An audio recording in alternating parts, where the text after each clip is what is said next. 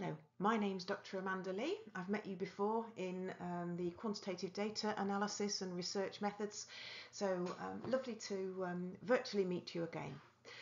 This lecture today is about epidemiology and it's for the local and global health unit, which is run with Manchester Metropolitan University for the pre-registration Masters nursing programme.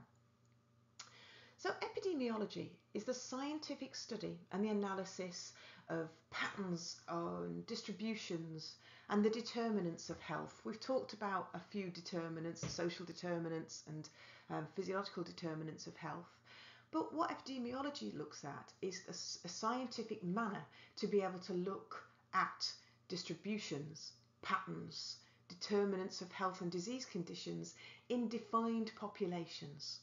And what we look at in epidemiology is how we can study how we can control diseases and how we can prevent diseases across populations. So it's absolutely relevant to nursing. What we're trying to do with epidemiology is to identify risks of disease, to look at preventative medicine and measures to be able to target those diseases or those outbreaks. Many, many years ago, John Snow um, predicted the outbreaks of cholera across London, so we consider him as our founder of epidemiology.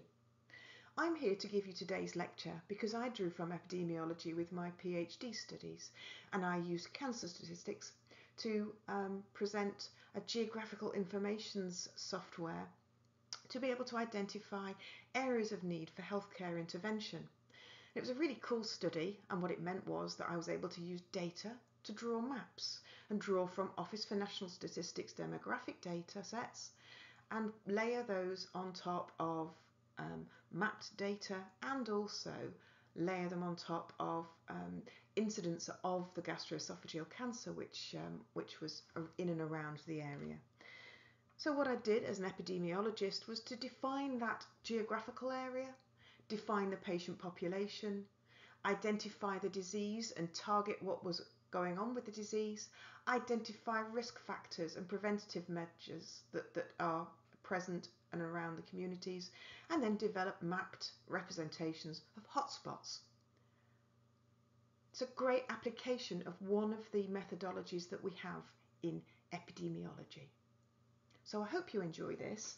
Um, it's a cool subject um, it, it's really, really important to nursing because if we don't know where our patients are, if we don't know what disease profiles our patients have got, how can we predict what we need for the future? So as we've said in the previous slide, epidemiology is the study of how often diseases occur in different groups of people, but also why they occur in different groups of people. Epidemiological information so information about who it is, what it is and why it is and where it is. That information is then used to plan and evaluate the strategies that we can implement to prevent illness and also to offer as a guide to how we can manage patients in certain disease profiles. So it's really, really important. We try to look at what populations are at risk and what different types of ways that we can mitigate those risks. And that's basically what epidemiology is. Why is that important as a nurse? It's exceptionally important to you as a nurse because if you don't know where your patients are, you don't know what disease profiles that you can predict, how can you plan your healthcare interventions? This session is going to talk to you a little bit more about what it is, why it's important, and I'm going to introduce you some key concepts as well, some of the ways that we use to define populations or define parameters within given populations. And with that, I'm going to talk to you about different methods that we apply as well and how we can look at demographic data. And demographic data is collecting a collection of information about certain populations. So it might be an age profile, it might be a disease profile, it might be gender or or um, ethnic minority profiling. It could be a number of different ways. Um, and the methodologies and how we sort of define what we're doing is really important to understanding our populations at risk. And the population at risk is all that group of people, either healthy or sick, who can be counted as cases if they had a disease which was under study. Epidemiology also gives us some really great opportunities to look at outbreaks and look at causes of outbreaks. Because if you think back to COVID and what happened there many years ago, a couple of years ago, the World Health Organization helped us to identify a disease profile, looked at the outbreak, started giving us definitions from being a, an epidemic to a pandemic, and gave us some of the reasons and the causations and how disease is spread. And this is fundamental to how we deliver healthcare in the future as nurses.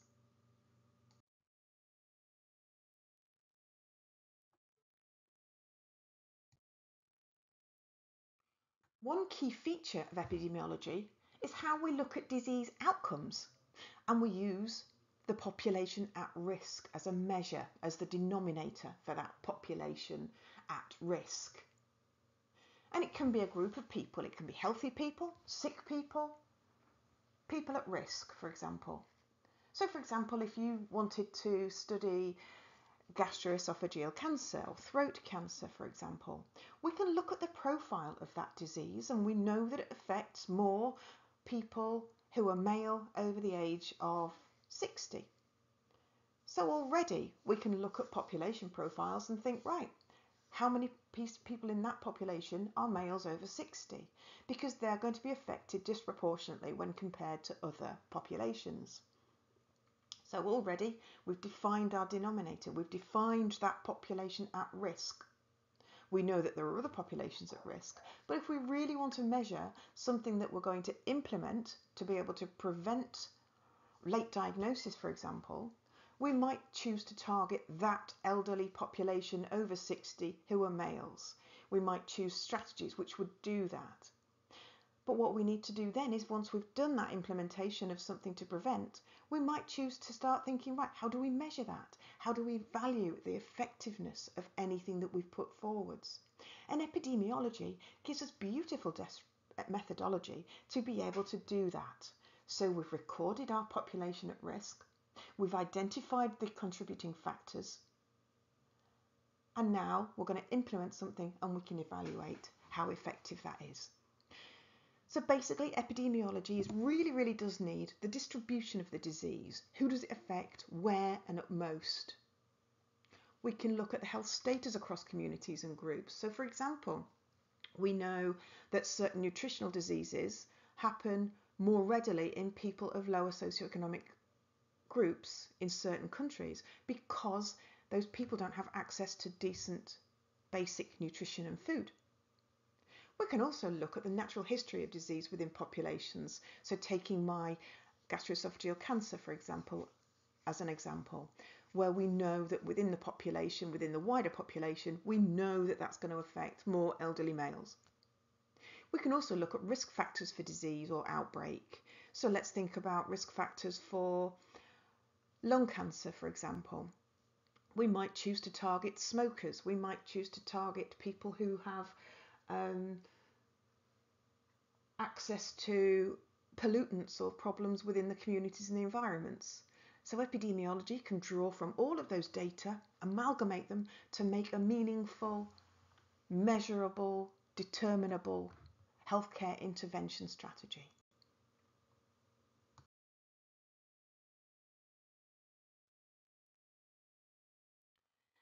So epidemiology doesn't just necessarily look at populations at risk, it can also bring in things like, you know, for example, if we think about malaria, we know where the mosquitoes are that spread malaria.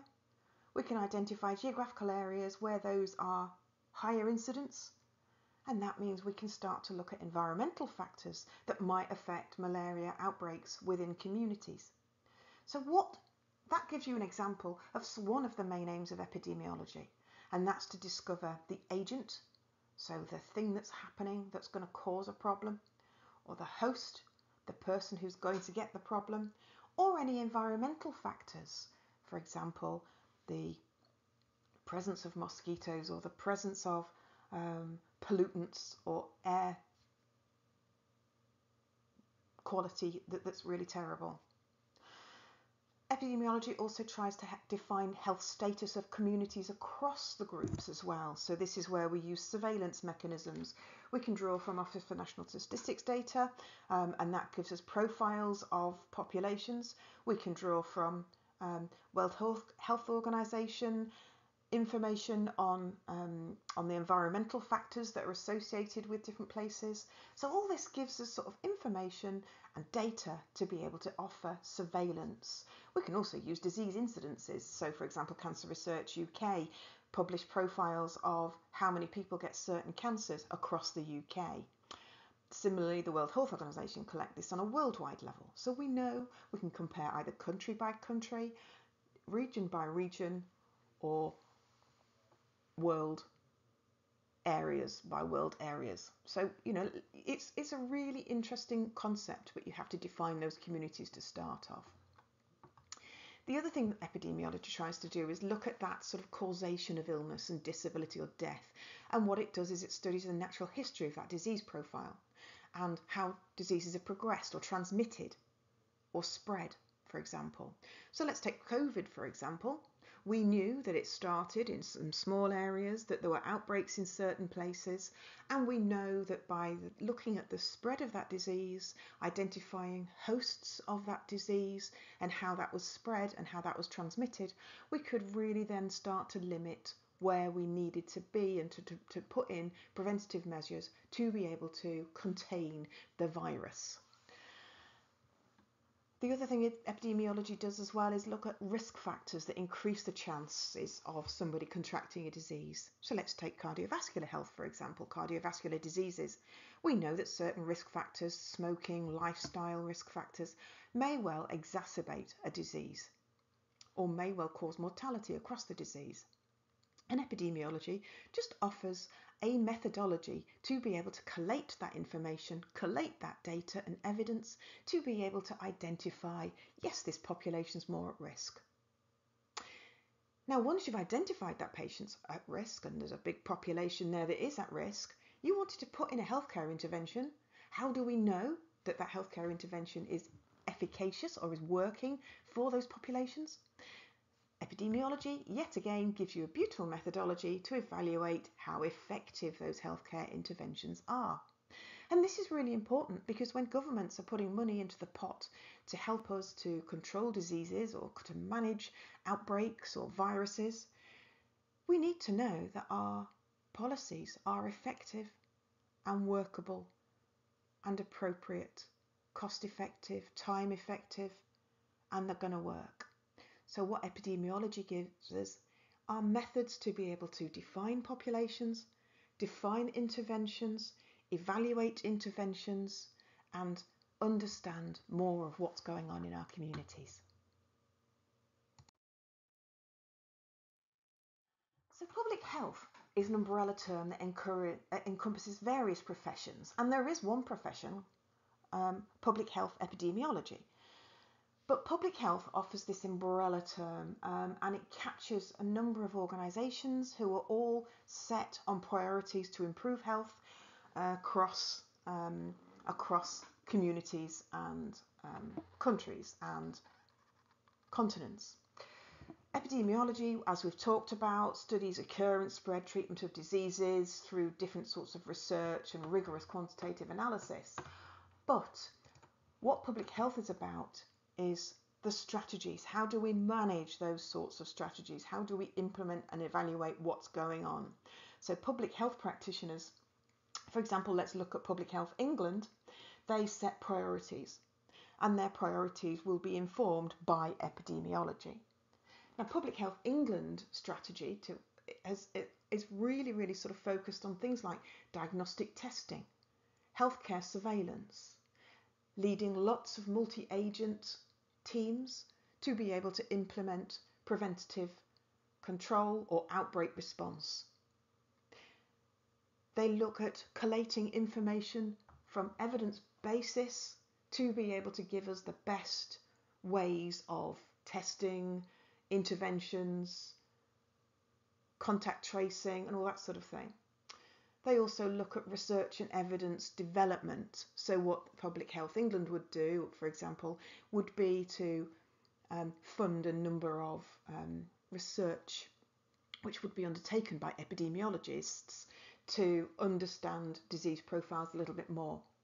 Now, Public Health also pull for all that information together and they offer advice and support for which types of healthcare and services we are going to deliver. They support things like vaccination programs and how we roll those out. Public Health offers scientific exam- advice to governments, non-profit organisations and evidence-based communications about behaviour changes which are then available to the public. So have a look around at Public Health England, for example, or the World Health Organization. And these places are public health departments who are responsible for collating information from epidemiological studies or different areas of studies to identify best practice solutions to help communities in the best way possible.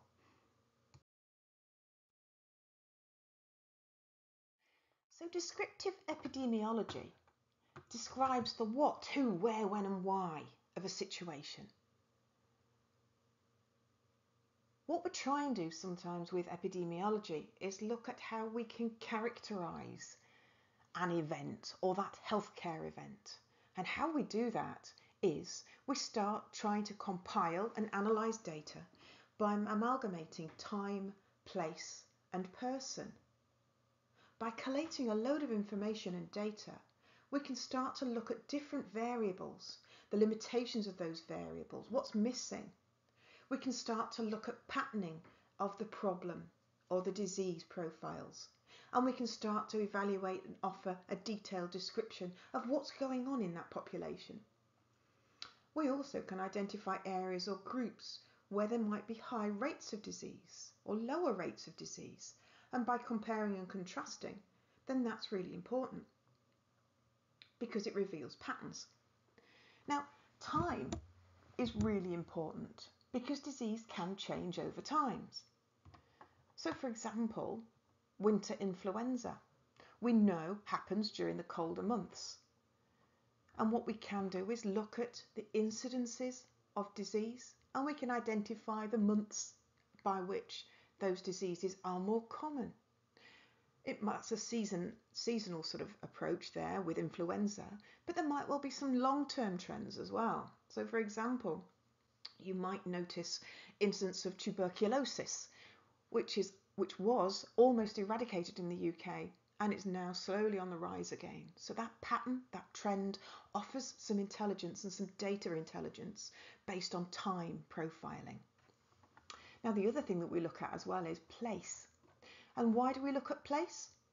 That's because it in, gives us insight into the geographical extent of the problem. So we know that certain diseases only happen in certain places at the moment.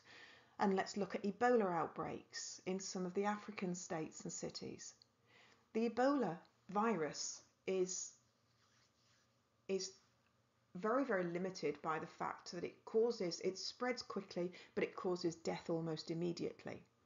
Now, if it was a more insidious onset and we didn't recognize signs and symptoms as readily as we did, then perhaps the host or the person with the Ebola virus, Ebola virus might well have the chance to be able to spread it a lot more. So by knowing what the disease is, how it's spread, understanding the place where it occurs, we can then target solutions to be able to stop it. So place is really, really important as well. And one of the reasons why we look at place as well is so we can spot data on maps. And this is really important. And you can see that we've got um, on, on the left hand side, we can identify certain disease profiles which are more prevalent in certain areas across. Um, I think that's the, NHS Wirral um, area there that you've got on this slide. Now, when we are talking about persons, so we've talked about time, why that's important, why place is important, and now we've got to talk about persons. And this is because personal characteristics might well affect illness or how we react to the illness. Um, it also might talk about the organisations as well. So age, sex, race, biological characteristics, acquired characteristics like marital status, occupation, leisurely activities, use of tobacco, drugs, all these person characteristics can impact how a person reacts to a disease profile or is more prevalent, where a disease profile is more present. So what we try and do in epidemiological studies is collate all this data, analyse the populations, look at behaviours across the populations, and review all the environments that might well be exacerbating anything that's going on. We also count healthcare events as well. How many people in this area have this cancer? How many people in this area are smokers or drinkers or take alcohol or have limited access to healthcare? Can also look at measures of well-being as well. How many people in that area have good lifestyles that are outdoors and community driven. Um, and what we can do then is with all these data, we can put them all together and look to see whether or not there are relationships and offer potential cause and effect. So as we've said, public health is this overarching um, umbrella term. And what public health does is it's there for prevention and surveillance.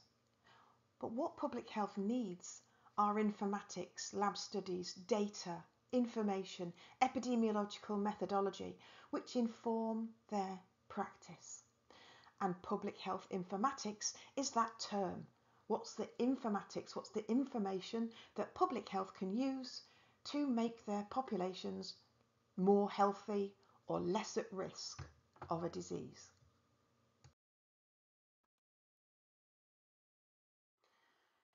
So there are a number of key terms across methodologies in epidemiology. Um, epidemiology is associated with distribution. And what distribution means is what's the frequency and pattern of any health events across a population. So frequently is about how many health events are happening, but also what relationships does that have to the number and the size of population that it's serving. And that gives us a rate to be able to evaluate disease occurrence across population profiles. Now distribution also pulls off the pattern as well. So what that means is how many health related events are happening between time, place and person. And we've already talked about time, place and person and why that's absolutely important. So patterning is to look at that geographical um, geographical occurrence or temporal occurrence you know what's going on how what patterns are there around distribution is about the who where when the time the place the person now determinants are the sort of the causes now. So what factors influence why the disease is occurring? What health related events actually cause problems with why the disease has occurred? What we assume in epidemiology is that illness doesn't occur randomly in a population, but it happens when there's a lot of risk factors or determinants all exist in an individual and cause disease, damage or problem. So what that means is it can inform effective health control and it can inform effective prevention mechanisms because then that way we've defined what's going on. We've defined what intrinsic factors like genetics or biological factors that might actually cause a disease what extrinsic factors might cause the disease. For example, high pollution rates or social factors or economic factors or physiological concerns like aging populations or what lifestyle choices make are a determinant of health and health mm. status. So it's about all of that, what's, what's going on, it's about the why and the what. What's happening and how can we start to form patterns to inform our practice.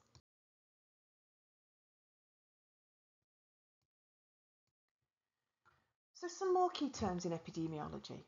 Health-related states or events. Um, this can be a disease, or it can be behaviours, or it can be number of deaths or births, environmental factors, levels of happiness,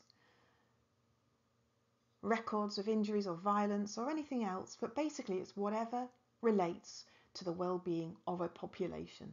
And what that means is that's, that's considered a health-related state or event. And then we need to start thinking about the specified populations. Now, epidemiologists are concerned about the collective health of people in a community or a population. So, as a nurse, your patient is an individual.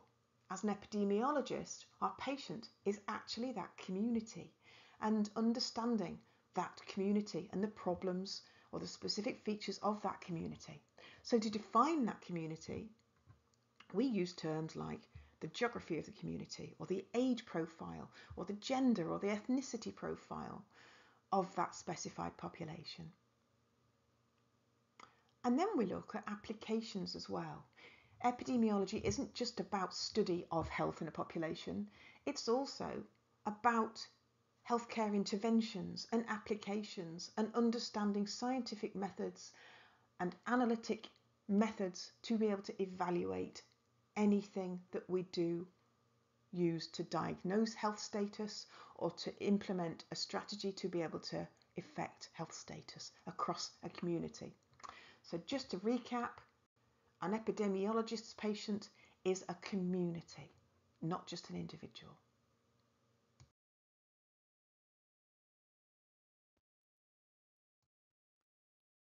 So this slide really just recaps it. So basically we're trying to collect a load of data on a disease or healthcare profile. We're going to try and collect it all in manageable pieces and determine patterns and analyse and evaluate what might happen. But we're also trying to evaluate any outcomes from interventions as well or detect any occurrences of diseases across a given population. That is basically how epidemiologists look at a distribution of a disease.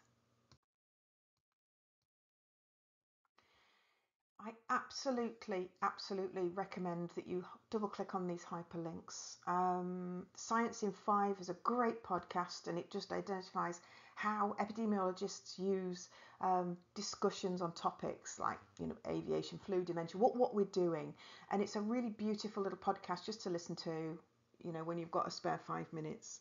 Global Health Matters is also is a really really important um, podcast.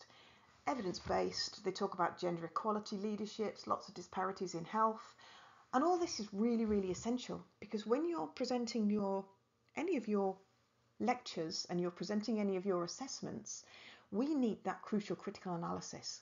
Now, Science in Five and Global Health Matters can offer you some really good insight to really capture that critical analysis that we need you to offer at master's level study.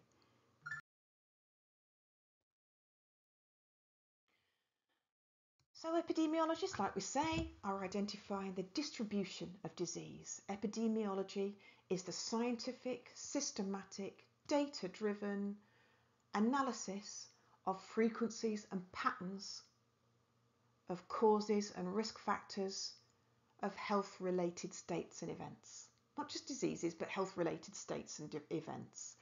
So, one great example is Openshaw. He was uh, an epidemiologist, geographer, who applied geographical information science and he identified clusters of childhood leukemia in and around certain areas in northern UK. We can look at some uh, case studies, for example, one of the most recent being the COVID 19 outbreak which informed the World Health Organization to develop a pandemic response. Nowadays, it's MPOX and how we look at clusters that are happening around there.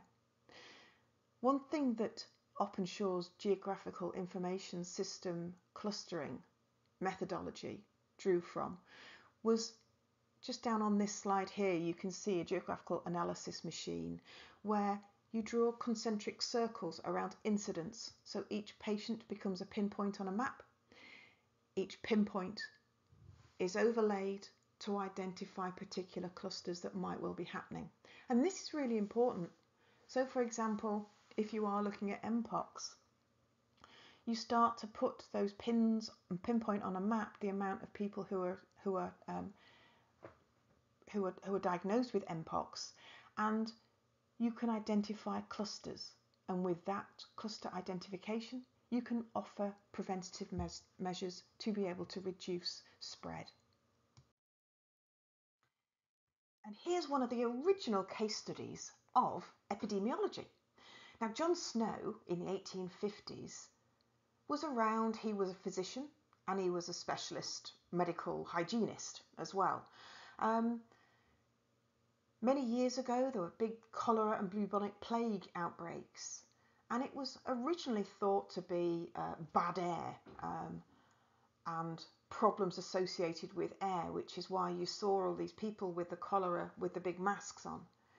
Now, what John Snow did was to do the first ever epidemiological study, and he posited the idea that cholera might well be spread by some other means, not necessarily just around the air or bad air. So, what he did was he started looking at outbreaks, he started pinpointing on maps to see where people were traced, how people who contracted the cholera had been drawing water and everything else. He amalgamated a load of data to make assumptions. And what he did with all of those assumptions, by collating all that information and evidence, he drew patterns and understood what was going on. He identified, he mapped out all the cases of cholera in a particular outbreak and identified where each infected families had obtained their water sources from. Snow's findings identified one particular contaminated hand pump in Broad Street in London. And what he did there was he demonstrated that deserts occurred more frequency in customers of one water company. He identified cholera deaths were linked to a particular pump in London and therefore John Snow, our original epidemiologist, prevented significant further outbreaks of the disease. Likewise, Semmelweis, the saviour of mothers, another physician epidemiologist in the 1800s, and he developed an epidemiological approach to identify clustering of diseases across a maternity hospital.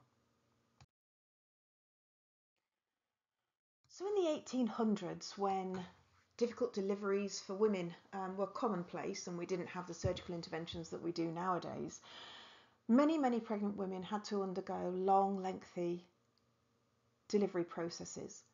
And adjunct to that meant many, many pregnant women got a lot of infections during childbirth. Puerperal fever occurs when bacteria infect the uterus and the surrounding areas of the female pelvis. Now, it was really common in mother and newborn babies many, many years ago because of the prolonged labour and problems with birth. There was significant epidemics in 1600s um, with severe mortality rates up to 35% in some women. Um, absolutely dreadful. But we had Semmelweis, and he offers a methodology to be able to help us to sort this out in the 1800s. So, in many ways, Semmelweis offered an epidemiological intervention study. He had a hospital and he had two wards, and he noticed the first ward, that was run by doctors and students, had a significantly higher rate of puerperal fever than the second clinic that was run by midwives. He started asking why that was. He started noticing that mothers in the doctors and students clinic with the 16% rates became ill immediately after giving birth or really, really close to delivery, and who soon really died of rapidly developing fever. He also noticed that women giving birth at home had much lower incidence of childbed fever or puerperal fever.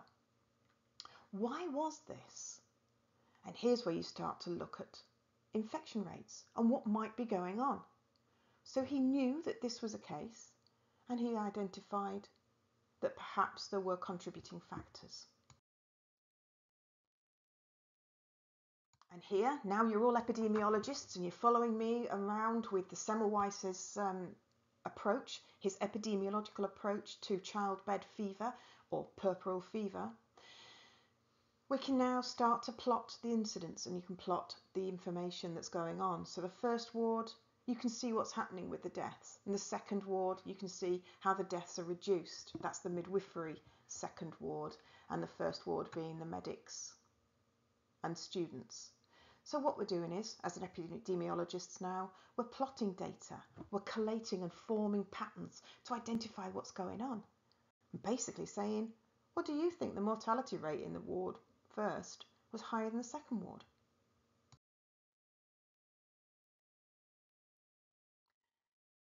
And what do doctors and midwives do when they're actually looking to see how women are progressing through labour? We do an internal examination and the problem there is that there's a potential for germ transmission by pelvic examinations. What Semmelweis identified was that medical students came directly from the death houses, often after performing autopsies, and they'd go straight into the pelvic examinations on the women who were just about to give birth and therefore spread the infections from there. You have to remember back to the 1800s when we didn't necessarily have the infection control of the hand washing techniques. So, what was happening? What Semmelweis identified was happening was there's an infection going on more readily in the medics and students ward. Why was that infection occurring? and he traced it back. He traced back by looking at what the medical students were doing day by day and understood what was going on. So, epidemiology, through clinical observation, controlled experimental interventions, and data analysis, could identify patterns and understanding of what was going on. The one difference between midwives and medics is that midwives weren't doing the autopsies before coming in to the wards to be able to deliver the babies. And that was the crucial factor. That was the crucial difference between Ward 1 and Ward 2. So, epidemiology detected patterns, understood what was going on, and offered an evidence based implementation guide to reduce infections from puerperal fever. And here is where we start to think right, so what would you do? What happens next? What things can you implement? And then how would you measure the efficacy of that implementation? Basic things that we can do. We need to know whether they'll work or not. And this is the other branch of epidemiology, the intervention evaluations.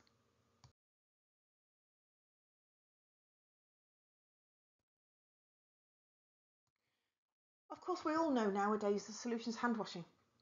And Semmelweis felt that this was an absolute requirement. He identified that washing with antiseptic solution that that would reduce the potential for childbed fever. And this was really important. However, as we've talked about before in some of the research methodology that I always talk about, Research is no good without dissemination. Dissemination is only good when you've got uptake of the advice that you're giving. Now, Semmelweis said doctors must wash their hands. But the whole community of doctors said no, doctors are gentlemen. Gentlemen's hands are clean. Poor Semmelweis received such scorn and ridicule, he ended up moving away from Vienna and was actually committed to a mental asylum. Only nowadays, with the affirmation of germ theory, can we accept that hand washing is a thing. And that didn't come for years and years and years after his death when Louis Pasteur identified the germ theory.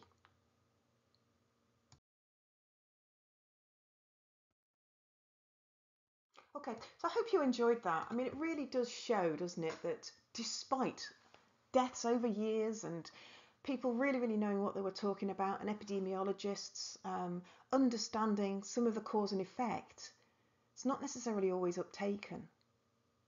Communities don't always respond in the way that you'd hope that they would. So let's move on now to natural history of disease. And this is something else that epidemiologists actually do try to study. The reason why we have to do that is because we need to know how disease pro pro progress um, in individuals or in communities over time, either with treatment or without treatment.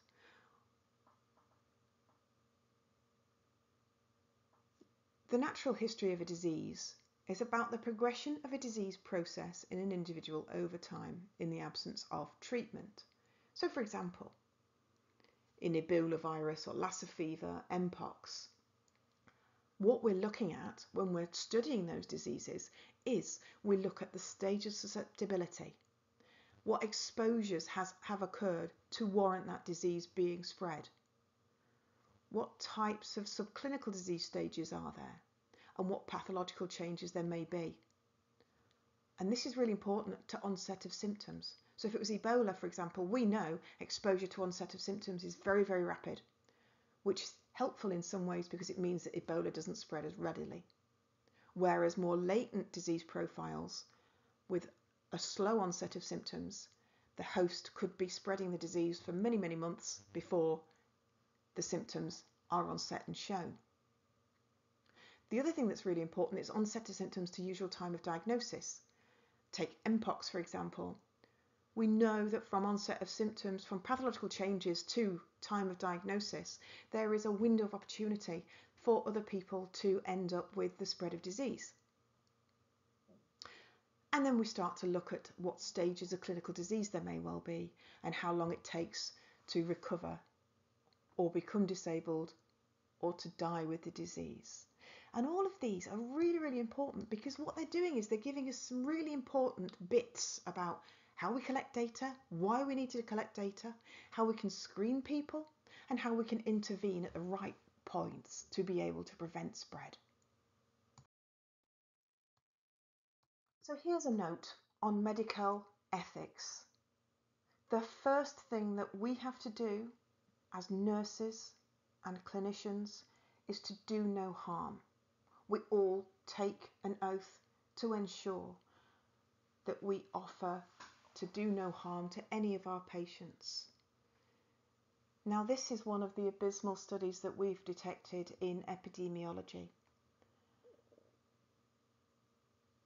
There's a number of African American gentlemen in Alabama who were untreated for syphilis so that the US government could evaluate degree, disease progression in syphilis.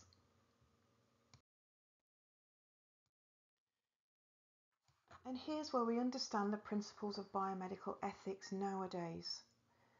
This study, the Tuskegee, Alabama study, was a case control study. People had black males, 412 of them had syphilis, and 202 had no syphilis. Not one of them were informed about the true nature of the study. So, first of all, we talk about beneficence, doing good, only doing good to your subjects in an experiment. Non-malevolence, do no harm. To do no harm. Now, no one of these patients were treated at all, even after they knew that penicillin was introduced in 1940s, where syphilis could have been treated. Not one of the gentlemen with syphilis was treated. So, non-malevolence, principle of biomedical ethics, absolutely not supported or upheld. Nobody was informed about the true nature of the study either. And here's where we talk another principle of biomedical ethics informed consent, consent to undertake or to be part of a study, to be a participant.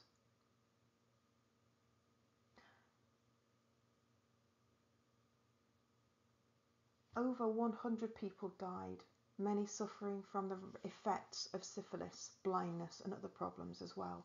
This study was absolutely abysmal and harmful, and it was only stopped in 1972. 1972. And that was just purely because of whistleblowing. These poor black males in Alabama, Tuskegee, might well have informed us about disease progression of syphilis, but it was an absolutely unethical study. And here's why when we are doing any research proposals or anything at all, we draw from notes like um, Beauchamp and Childress's Principles of Biomedical Ethics, Beneficence, Non-Malevolence, Informed Consent, Truth, Justice, Veracity. We must ensure that we fulfil our obligations as healthcare professionals. But things do go wrong. So it's really important to make sure that we always question the ethics of any study. And in epidemiology, it's exactly the same. So as nurses, we all want to act with beneficence and non-malevolence, to do good, to do no harm, to ensure that we promote and deliver what's best. Now, the only problem is we all work in a utilitarian healthcare system. And what utilitarian healthcare system means is that we're all there to provide a service which is the best for all. And unfortunately, what that means is it's not the best for certain individuals. So something that might affect a larger community, if you're trying to do a healthcare intervention, might well ignore some of the undisclosed communities or the lesser representative communities. So there are things that stop effective use of some of the findings that we have with as epidemiologists. So it's really, really important to start thinking about what happens, for example, let's look at the NHS. What are the financial constraints to making sure that we can deliver effective healthcare for each individual? What are the social and economic costs of delivering large scale interventions for populations because problematically epidemiology will offer solutions and tailor-made solutions for a wider community. And that's the problem because when you aggregate medicine or interventions to wider populations wider communities there's always going to be people that are missing out. So if you're going to do anything at all about epidemiology always think who are we missing about? Who are we missing out? What are we trying to do? If we are disseminating evidence, who's that evidence best for? And how well can we make sure that we get that voice heard? So we know the epidemiological processes are ones of surveillance, looking around what's going on across communities, analysing, understanding the risk factors, understanding disease profiles, understanding causation, and risk. Epidemiology evaluates, so looks at interventions to see whether they work enough. An epidemiological process informs policy. But even if we do know something's going on in communities, we then have a responsibility to make sure that our governments listen, that our governments will detect and organise policies which will help us. And that's your role as nurses and that's your role as nursing epidemiology budding epidemiologists. We must ensure that we inform policy and that we use effective evidence and information which will inform policy. And for that, we draw from our clinical judgment. What do you see on the wards? What do you see in the communities? We draw from relevant scientific evidence. What's out there? What information do we know already? But as nurses, we're going to amalgamate those patient values and preferences as well. And identify those people who don't necessarily group into the big aggregated groups of individuals. We're going to identify the smaller communities who really desperately need our help and our interventions.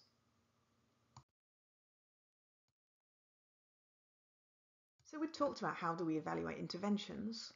Um, epidemiology can have a look at how useful, I guess, our interventions are. You know, what, what do we do? How can we do them? So let's look at vaccination uptake, for example, or medicines, um, how effective they are. The Medicines Healthcare Regulatory Agency, which is another um, site, obviously do look that up. It's really, really important. When we deliver a medication and identify that there's a side effect of that medication, we have yellow cards. And the yellow card scheme is there to be able to import and report to the Medicines Healthcare Regulatory Agency on side effects and drug profiles. Now, what the Medicine Healthcare Regulatory Agency then do is identify signals. So they'll look across that data and go, oh, that particular medication has been prescribed. Lots of people are identifying this as a side effect. Let's amalgamate all of that information and we know what's going on. We know now that we need to change a patient information leaflet to warn the public about a potential adverse effect of medication. So there's lots of types of surveillance that are going on all across the world and in the UK. And it's just about understanding what they are. These next slides are just basic case studies of what's going on in our times, um, what sort of things, how did we look at them. So I implore you just to have a read of the contents. So slide 27, 28, 29,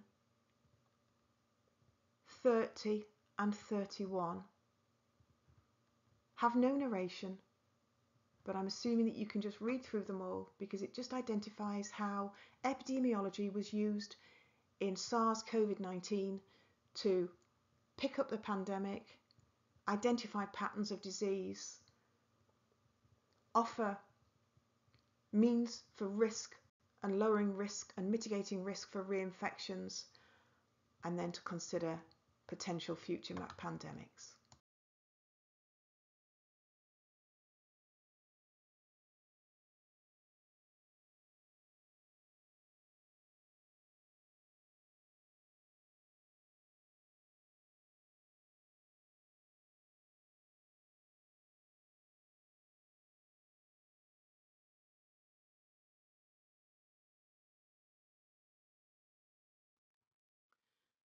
And this, my penultimate final slide, but the rest are just references, is have a think about what you want. What sorts of conditions are you interested in?